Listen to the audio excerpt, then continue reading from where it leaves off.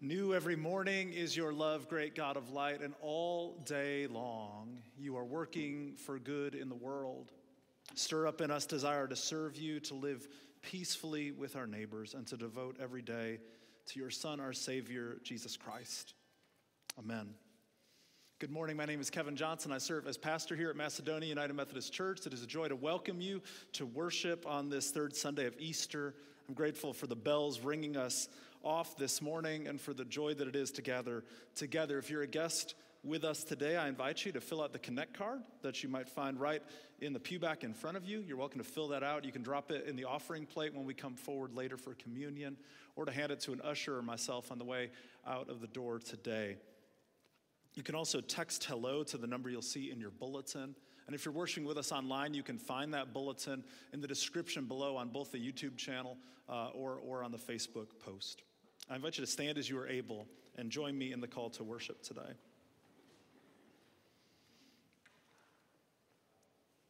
God is light, and there is no darkness in him at all. Shine your light upon us today, O God. We know that when Jesus appears, we will be like him. Reveal yourself to us anew. We love because God first loved us. Help us practice love in actions and truth. Rejoice, ye pure in heart is our opening hymn. Let's sing together.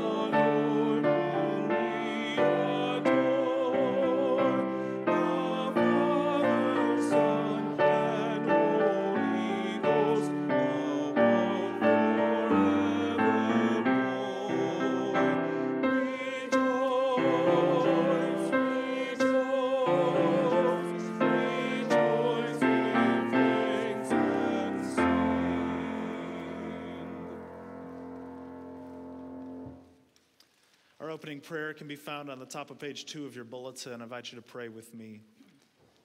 God, who is love, you showed us your love by sending Jesus to live among us, to walk with us, to die for us, and to be raised in us. Give us the grace and courage to reflect your self giving love in every part of our lives. Through Jesus, the one who lives in us, by the power of his Spirit, we pray. Amen. You may be seated. At this time, I invite those who are coming to join the life of our church to come forward and meet me up front.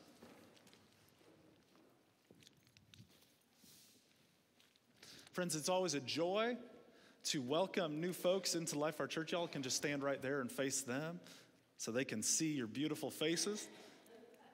We have with us today Karen and Eric Packard and Lynn Pierce and Teresa Hunt, uh, all coming to join the life of our church together. Uh, they've been worshiping with us for various times. Uh, some of them, even in Lynn, were members a long way back and are co- coming back to join the life of our church now in this stage of life. So it's wonderful um, to have them all with us. Uh, I'm just going to ask a few questions. You'll find pages 38 and 39, and, um, and, and it'll give you, the congregation, a chance to respond to them as well.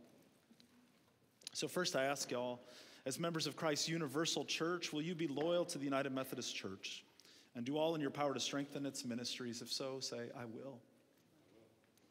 And as members of this congregation here at Macedonia, will you faithfully participate in its ministries by your prayers, your presence, your gifts, your service, and your witness? If so, say, I will. Members of the household of God, I commend these persons to your love and care.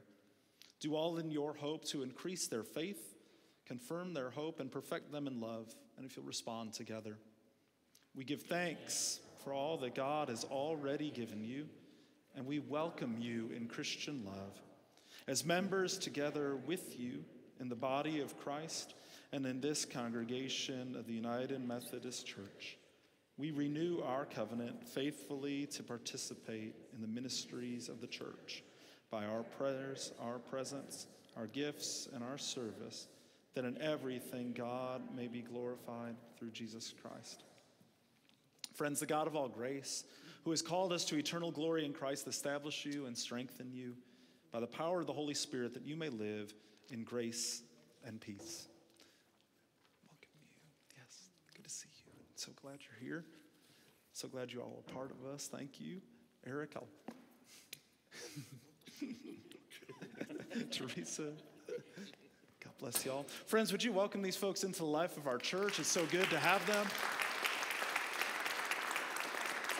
I invite you to make sure that you uh, introduce yourselves to them. I know that many of them have made themselves very available. All of them have uh, in many ways, but you might not know all four of them up here. So I invite you to introduce yourselves to them uh, following worship or, or to extend passing the peace a little bit today to do that. And y'all have a seat. Thank you.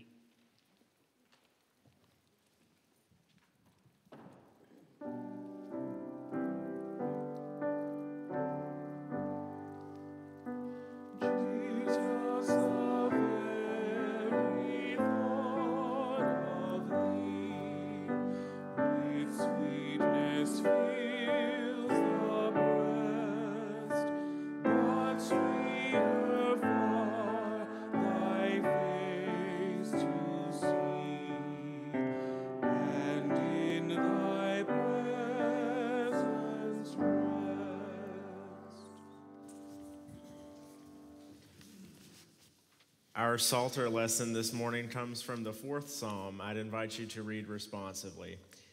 Answer me when I cry out, my righteous God. Set me free from my troubles. Have mercy on me. Listen to my prayer.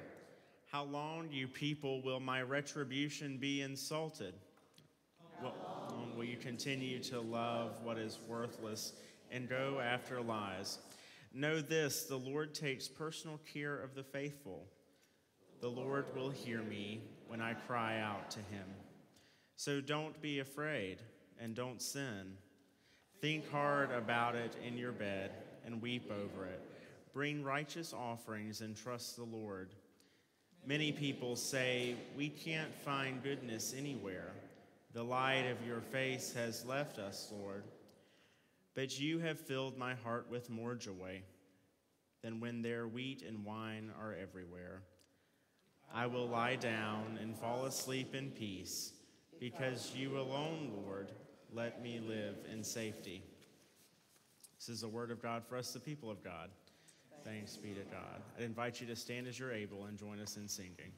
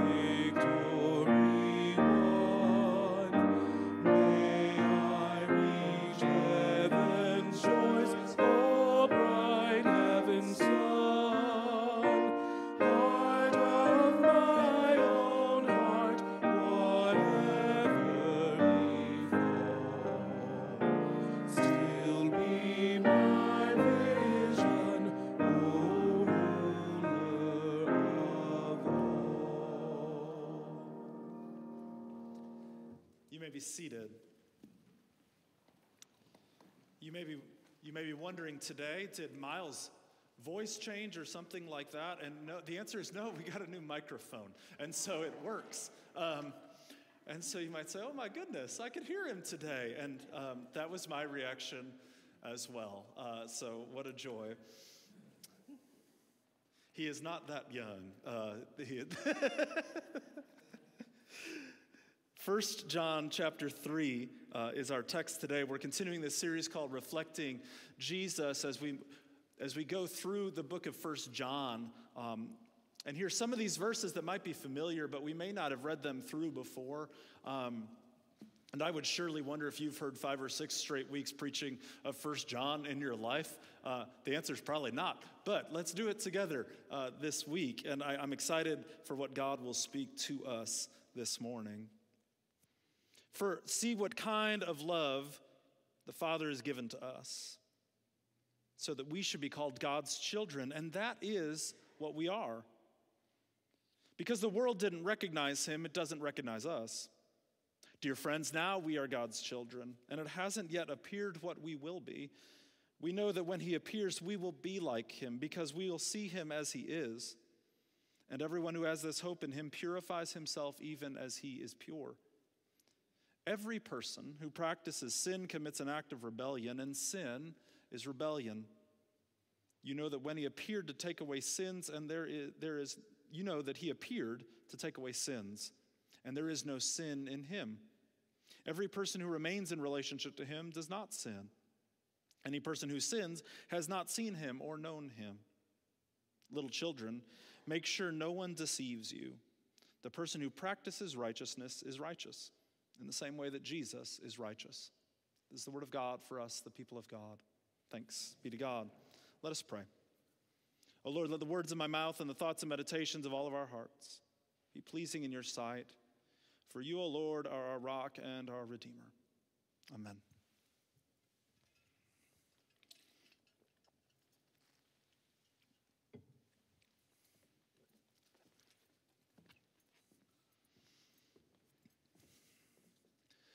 I almost got into a fight on Wednesday night with the umpire of my girls' softball game.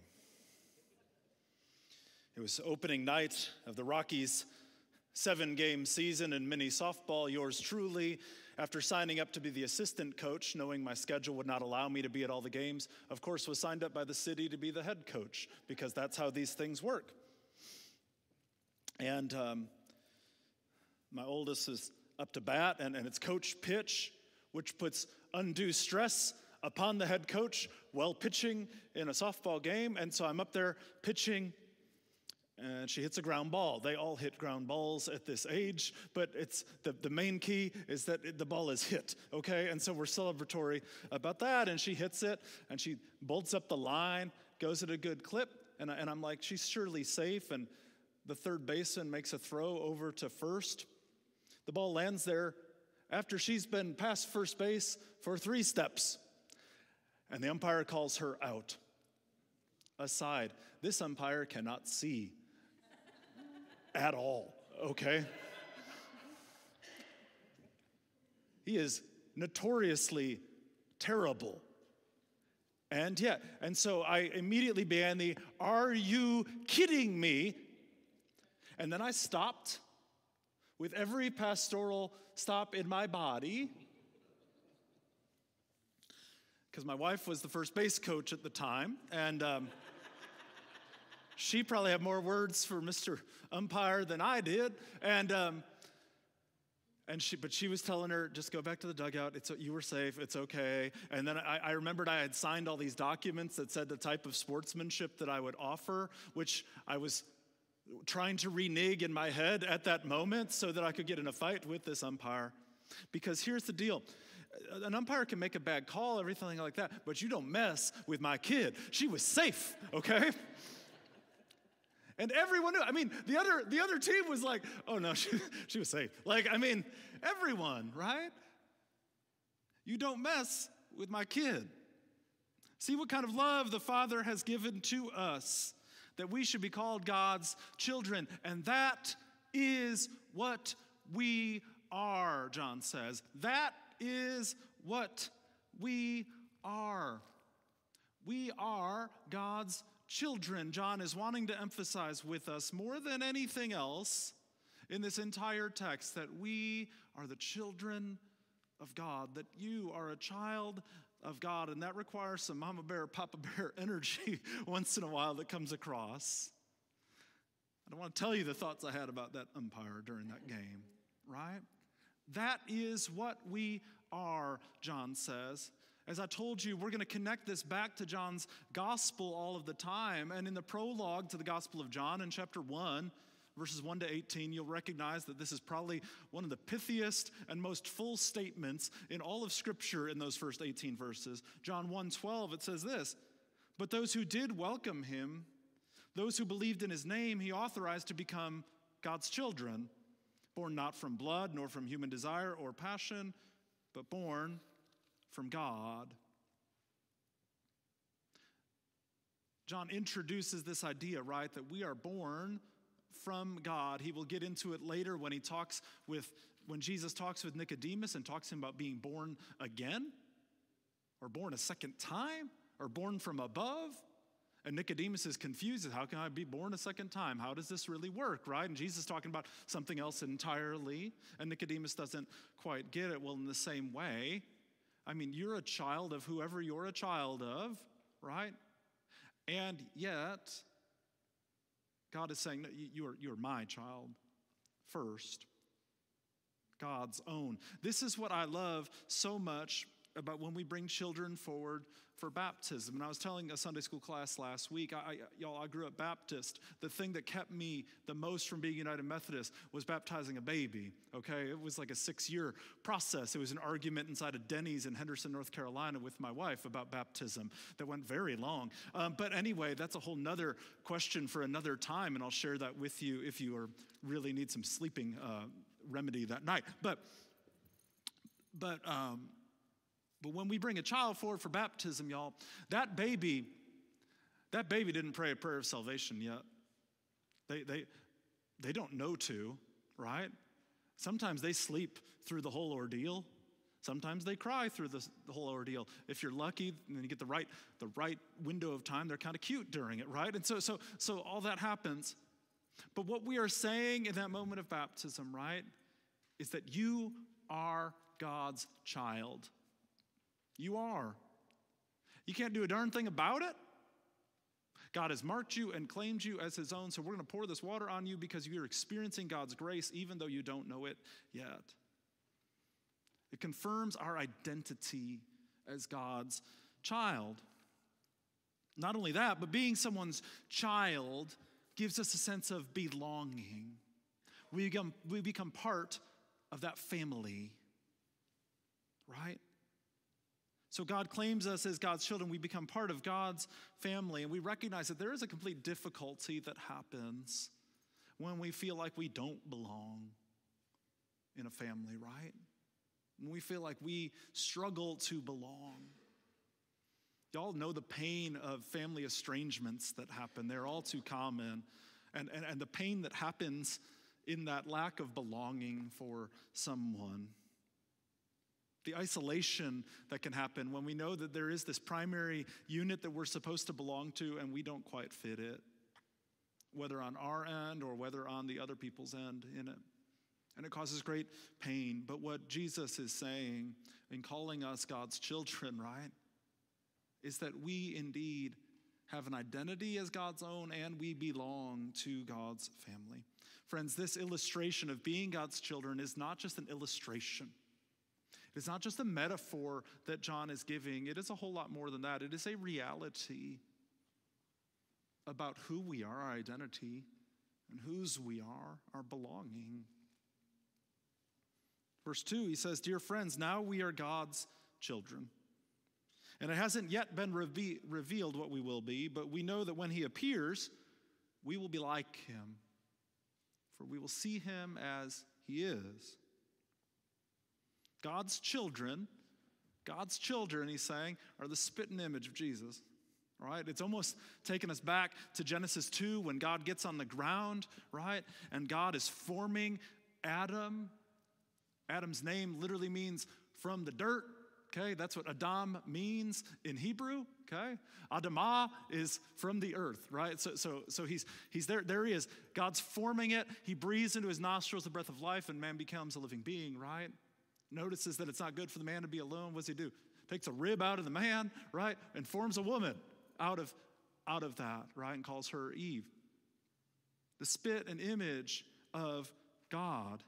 And it's not just that we look like we are in God's image. It's not just like that, well, Jesus was a man, so he kind of looked like he's, so God has these human characteristics or something like that. It's not even about that. It's actually about the, the manner, even more, of how God acts. And I think that's what Jesus is, what John is referring to in this text.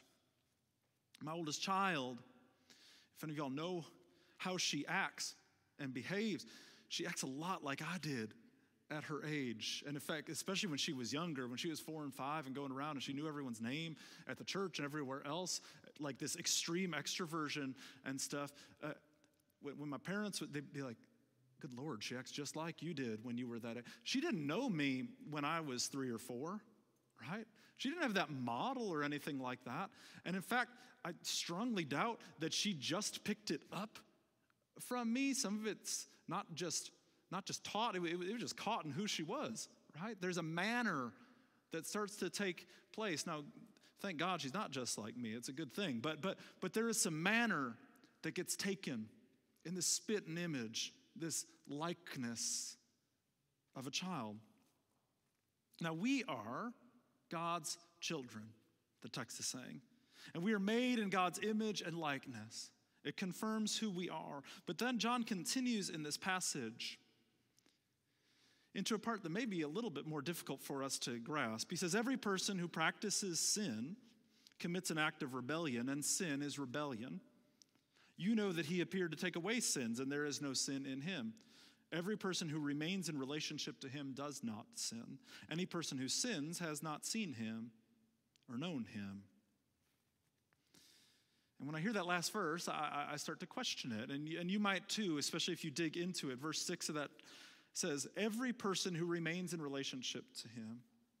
does not sin.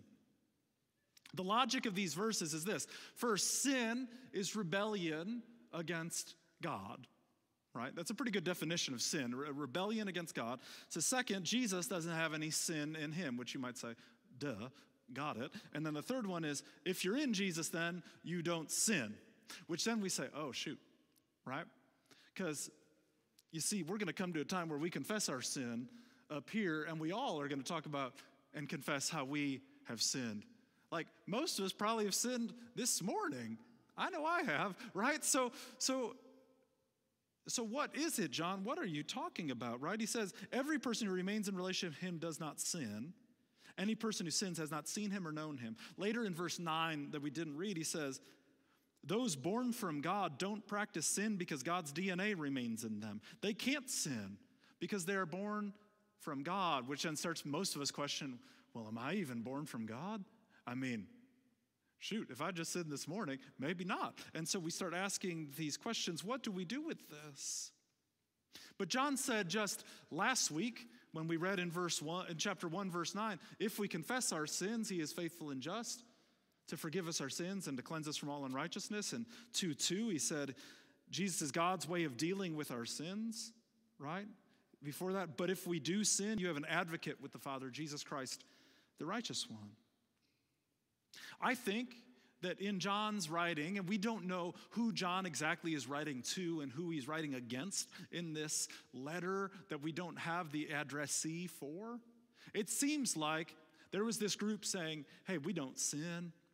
We never sin. We don't mess up, you see, because we, we, are in, we are in Christ. We are truly the chosen ones. And the problem is that, that group was blatantly sinning and ignoring the ways of Christ. And I think that's what's at stake here is that John is saying, well, if you really were in the ways of Christ, then you wouldn't be sinning like you are. You wouldn't be choosing that. Because yet we have to reconcile chapter 3, verse 6 and 9, versus what John has just said about having forgiveness of sins, and when we do sin, that we are forgiven. And I think one key word as I was reading this passage this week that comes to me is this. We find it in both verse 4 and verse 7. Right? In verse 4, he says, Every person who practices sin commits an act of rebellion, and sin is rebellion. In verse 7, he says, Little children, make sure no one deceives you. The person who practices righteousness is righteous in the same way that Jesus is righteous. I like the way this Common English translation translates this passage when it talks about practicing sin and practicing righteousness. And John offers these as two alternatives. Now, I was thinking about practice this week, and, and, many of us were drawn to basketball over the last couple weeks, right? And, and although locally, the, the story for us was, was the Wolfpack and, and both teams making it to the Final Four and everything, the national story was about one player, right? The national story was about Caitlin Clark, right? And, and, and her, like, utter domination. And if you watched if, if you watch that girl shoot, holy cow, right? And it's unbelievable. And she can pull up from 40 feet out. And, and so what I did, I, I looked up what her practice routine was this week, and I found many, many countless YouTube videos that you could go down a long rabbit hole of, which I did not. But I did watch one. And, and Caitlin shoots 300 shots per day, and she logs exactly how many she makes because she first takes 100 three pointers in real game time, right, with someone rebounding for her. Then she takes 100 mid range shots. Then she takes 100 free throws. And her goal is to make 230 of, out of all of those shots every time.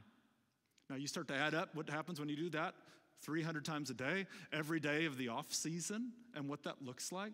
And the point of it all, right, is that for Caitlin, when she pulls up from that 40 footer or whatever, she's taken that shot a cajillion times. That's a technical word, right? And so she takes that shot a cajillion times. And the fact is, is that she is hoping that there is a muscle memory in her body that just feels what that is to drain that shot and to put it in.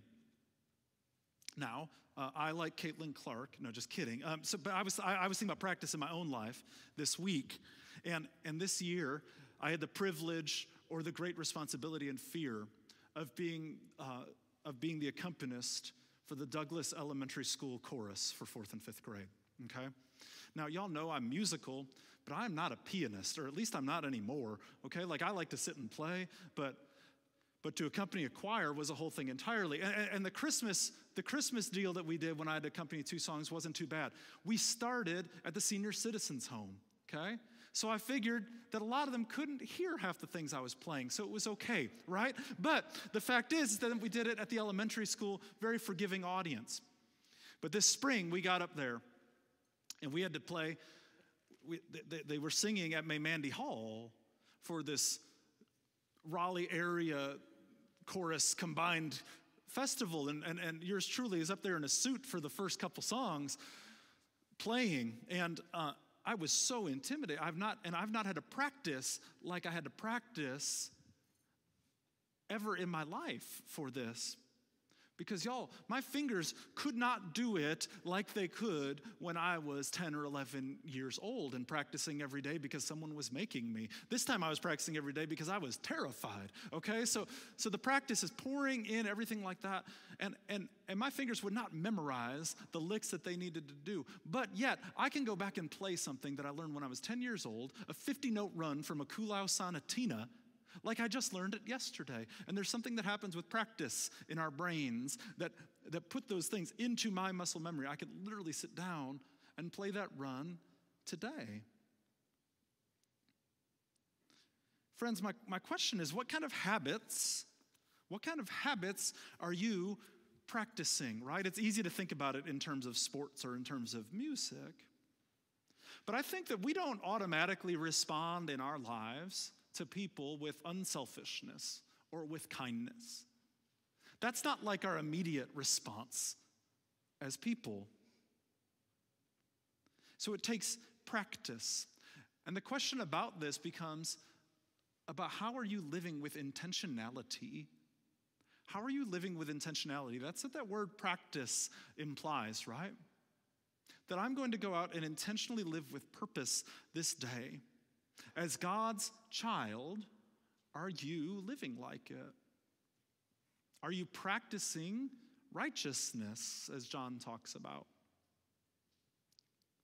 I think a lot of us would say, well, sort of. I mean, you know, I'm like, try to be nice and stuff. But like, John is clearly talking about something more than that.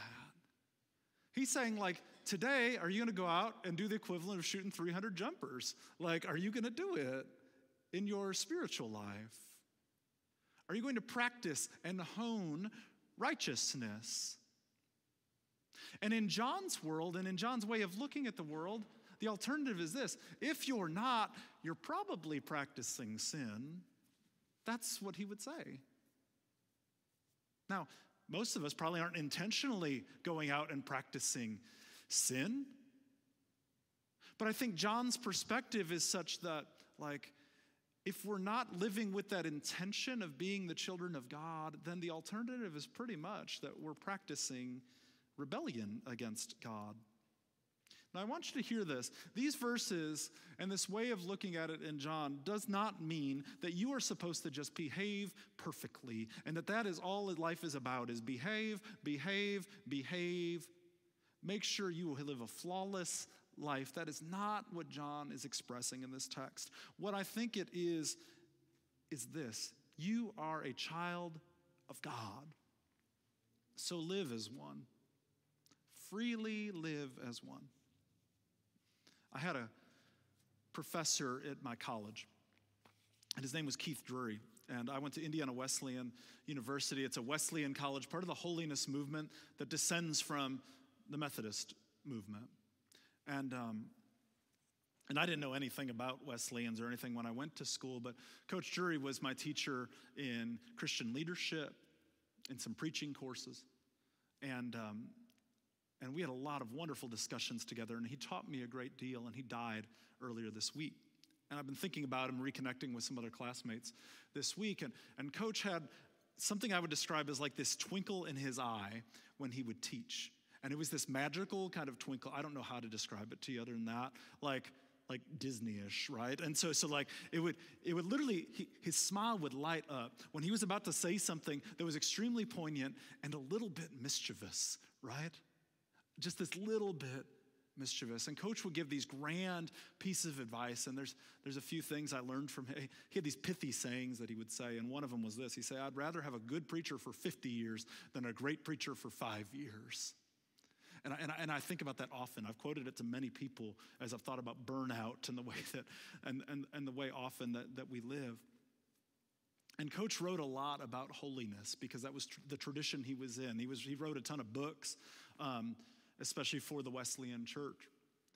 And I think about him because for him, holiness was not a chore. Holiness was not some set of legalistic rules to be followed. Rather, it was the freedom of living as a child of God. Coach was this extremely joyful person. He would lead trips. I mean, this guy hiked all of the Appalachian Trail at some point. He biked all through everywhere. Uh, I mean, just amazing guy, and who loved mentoring students along the way. And for him, a life of following Jesus, a life of holiness, was not some joyless existence, some like legalistic nightmare. Rather, it was this wonderful freedom of being God's child and living with this intentionality of practicing righteousness. Friends, you are God's child. You are, right? That's what John tells us. That is what you are. You belong in God's family as God's child. You can be secure in that belonging. And you have a purpose as God's child. So practice it. Let us pray. Holy God, I pray that you would help us to recognize our identity in you as your children. I admit that sometimes I do not live like that is my first identity. Lord, I admit that sometimes I don't feel that sense of belonging in your family. I wonder sometimes how I fit if I've estranged myself, if I'm estranged from you. And Lord, sometimes I wonder how am I doing at practicing? Am I practicing for your kingdom ways? Or am I practicing actually ways that work against what you're trying to do in the world? God, I pray that we would be secure in that identity in you that we are your children. That we be secure that we belong to you, that we would find that, that constant sense of comfort and grounding. And Lord, that we would find our purpose in you. That as your children, we would practice righteousness so that we might grow deeper and deeper into our relationship with you as our parent and so that we might invite others into your family. It's in Christ's name we pray. Amen.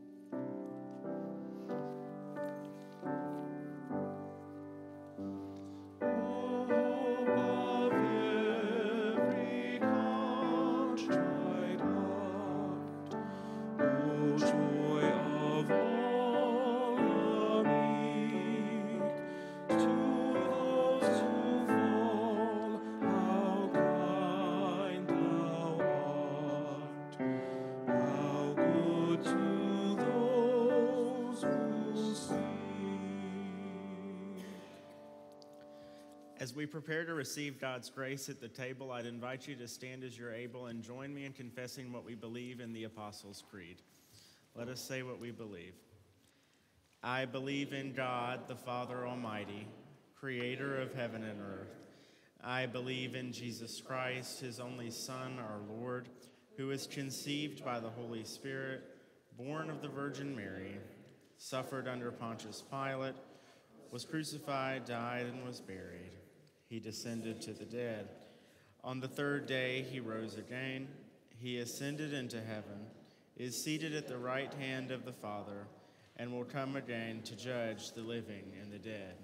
I believe in the Holy Spirit, the Holy Catholic Church, the communion of saints, the forgiveness of sins, the resurrection of the body, and the life everlasting.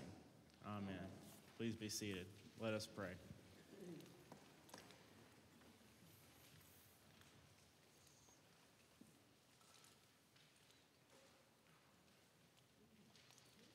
What a great world it would be, God, our friend, if we all kept our lives grafted in Christ Jesus, the true vine, and like good branches produced the bountiful fruits of the Spirit.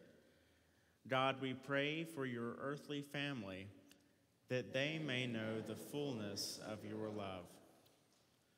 What a great world it would be if we cared for the sick and the handicapped, the diseased and the mentally ill, like Jesus did. God, we pray for your earthly family that they may know the fullness of your love. What a great world it would be if we sought the lost and bewildered people and restored their dignity and hope, as Jesus did. God, we pray for your earthly family that they may know the fullness of your love. What a great world it would be if we opened our arms and hearts to misfits and outcasts and our arms to the untouchable, as Jesus did. God, we pray for your earthly family, that they may know the fullness of your love. What a great world it would be if we practiced forgiving our enemies and doing good to those who spitefully abuse us, like Jesus did. God, we pray for your earthly family that they may know the fullness of your love. What a great world it would be if we let others borrow what we have and gave gifts without looking for reward, as Jesus did. God, we pray for your earthly family that they may know the fullness of your love. What a great world it would be if we created a new community out of desperate types of people, just as Jesus did with his disciples.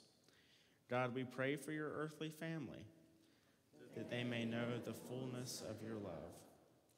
What a great world it would be if we prepared to carry our own crosses with the courage and faithfulness of our Lord Jesus Christ. God, we pray for your earthly family, that they may know the fullness of your love. Loving God, bind us close to your lovely Christ. Let his spirit flow within us, healing our defects and enabling us to produce the fruits of love, both in and out of season, to the glory of your name. Amen. Jesus,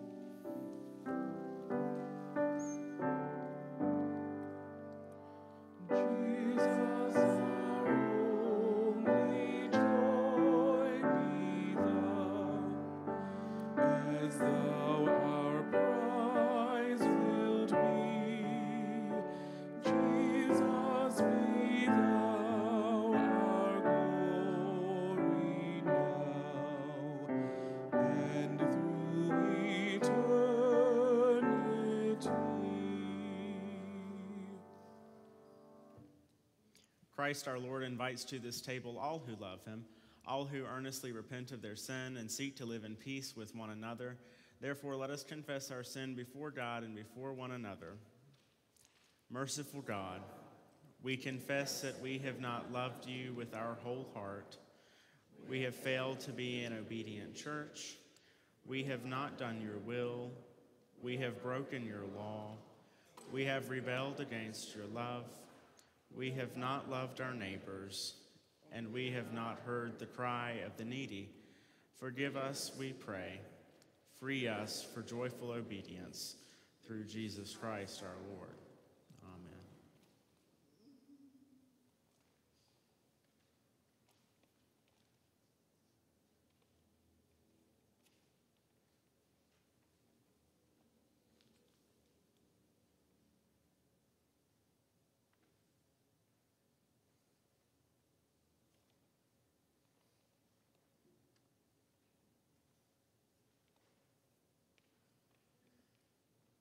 Hear the good news Christ died for us while we were yet sinners, and that proves God's love toward us.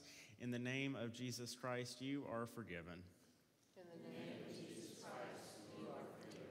Glory to God. Amen. Friends, as a forgiven and reconciled people, let us offer one another signs of peace, reconciliation, and love.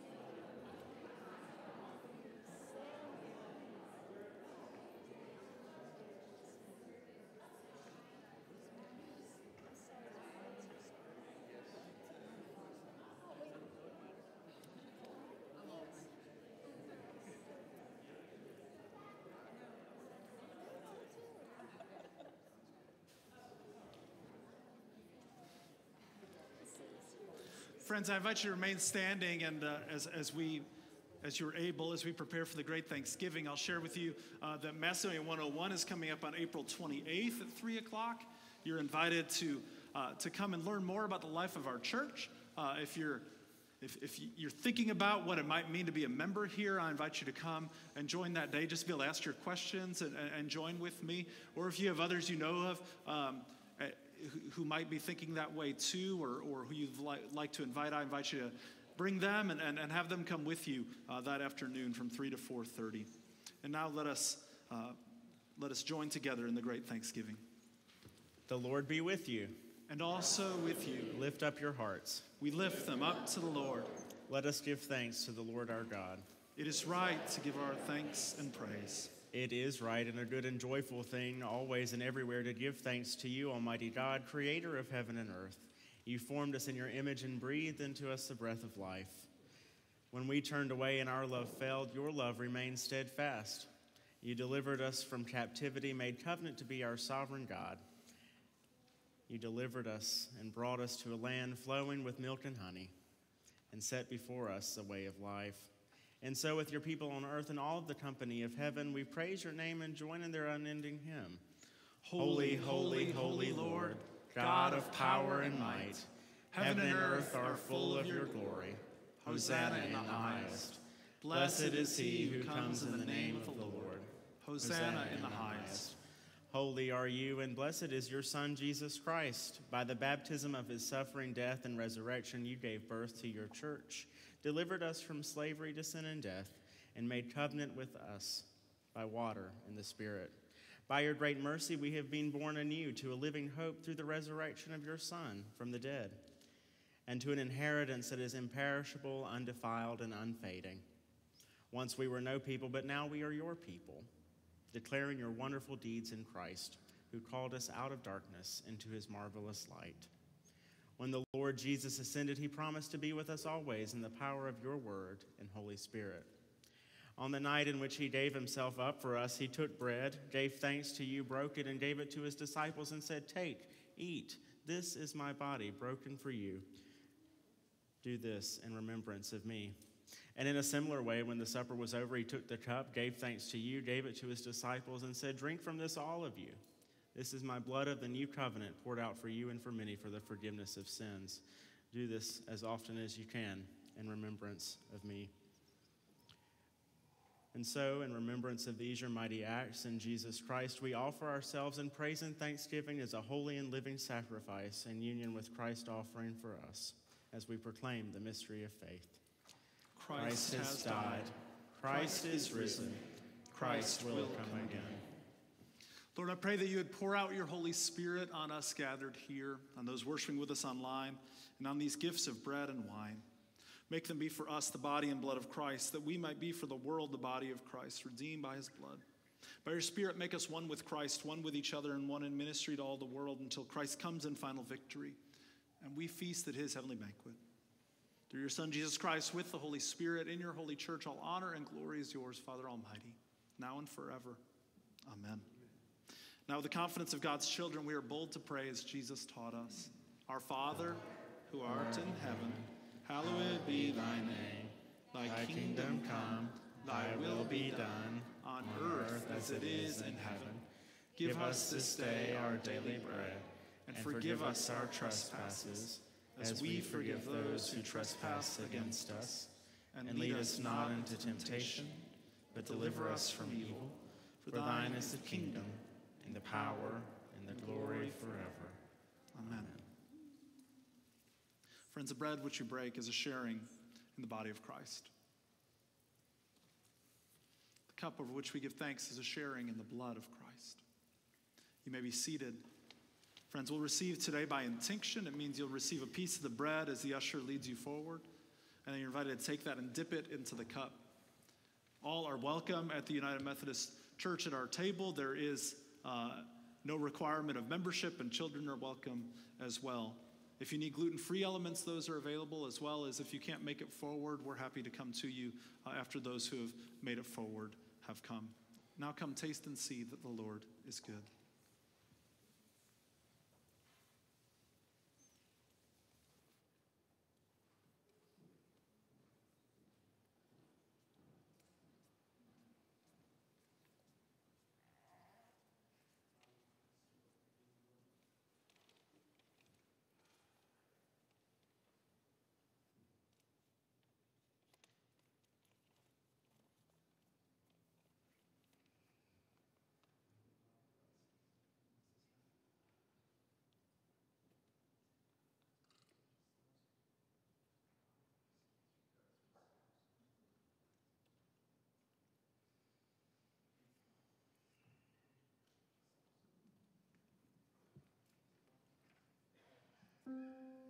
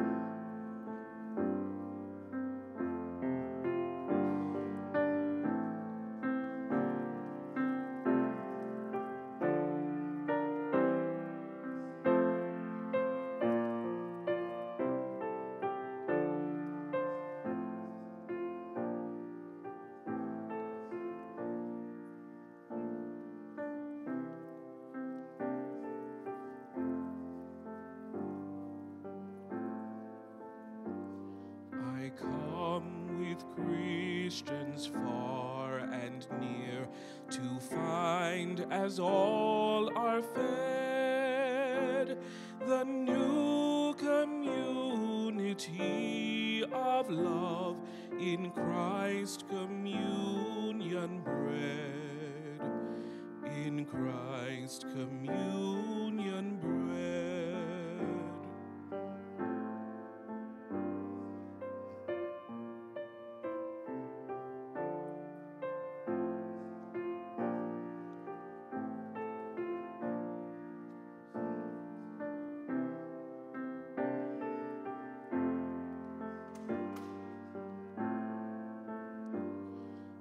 Christ breaks bread and bids us share each proud division ends. The love that made us makes us one, and strangers now are friends. And strangers now are friends.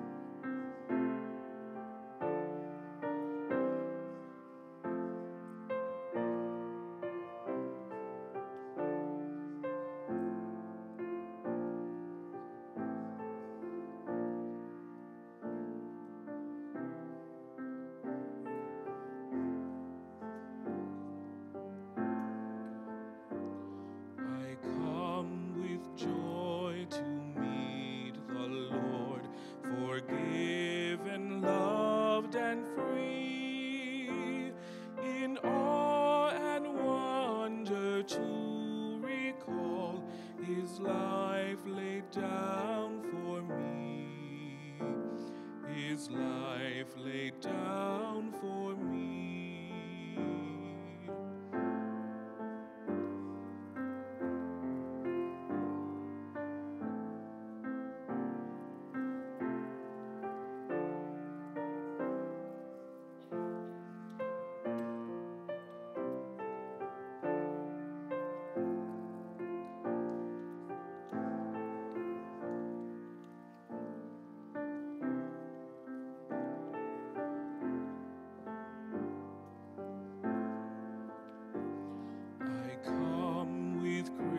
Christians far and near to find as all are fed the new community of love in Christ's communion bread. In Christ's communion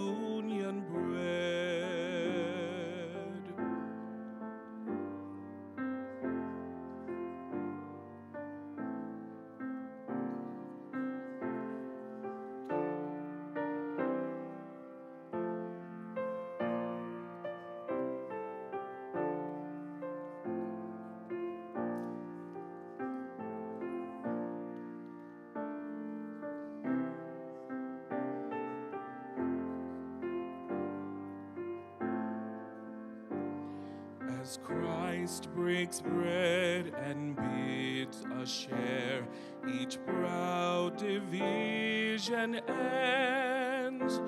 The love that made us makes us one, and strangers now are friends. And strangers now are friends.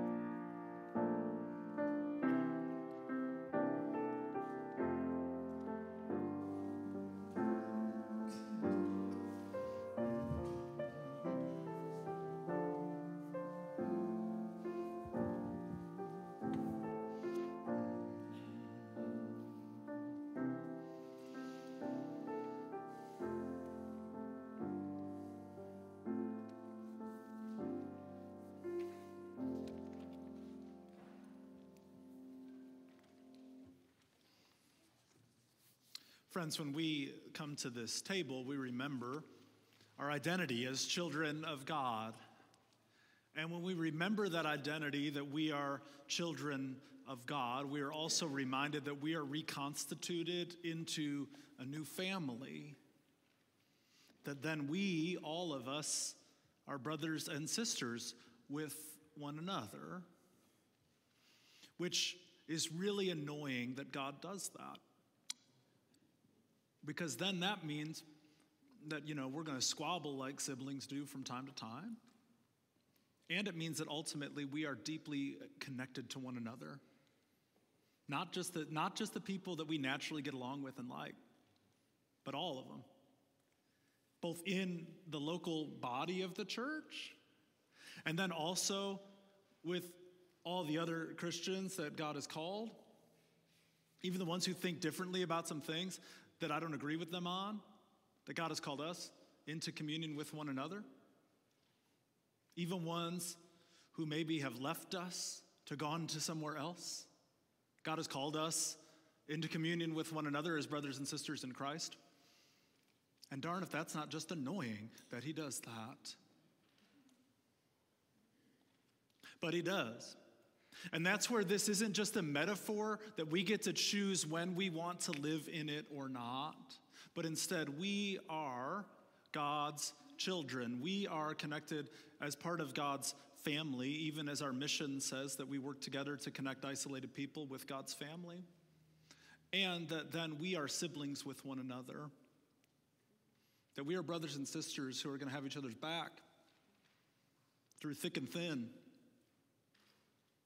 and that we're going to get through squabbles and annoyances with each other for the good, for the good of our Heavenly Father. Friends, that's a different outlook, maybe, than the world's outlook of community with each other today.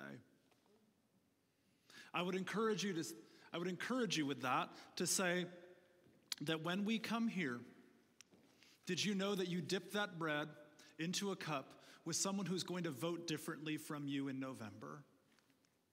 I guarantee it. You did. You definitely did, right? And our primary identity is children of God. Children of God. And friends, let us remember that in all seasons. All seasons. I'm not trying to preempt what's coming in six months from now because Lord knows we're going to have enough of that mess. But, friends, our identity, this is not, we're not playing pretend. It's not just a cute little metaphor that we are God's children and that we are family. This is reality. This, this, that's why we touch it, like First John said. It's what we have heard, what we have seen, what our hands have touched. And what we do is we remind each other of that reality, and God reminds us in holy and real ways. Friends, that's the significance of what we do. That's the significance of what it could mean for our world today. So I hope that as we remember our identity as God's children, our belonging as part of God's family, and that purpose that we have to practice, to practice righteousness, that we'd remember that today. I invite you to join me in this prayer following communion. Bottom of page six. Eternal God, we give you thanks for this holy mystery in which you have given yourself to us. Grant that we may go into the world in the strength of your Spirit to give ourselves for others. In the name of Jesus Christ, our Lord. Amen. If I just stand as you are able as we sing together, Blessed Assurance.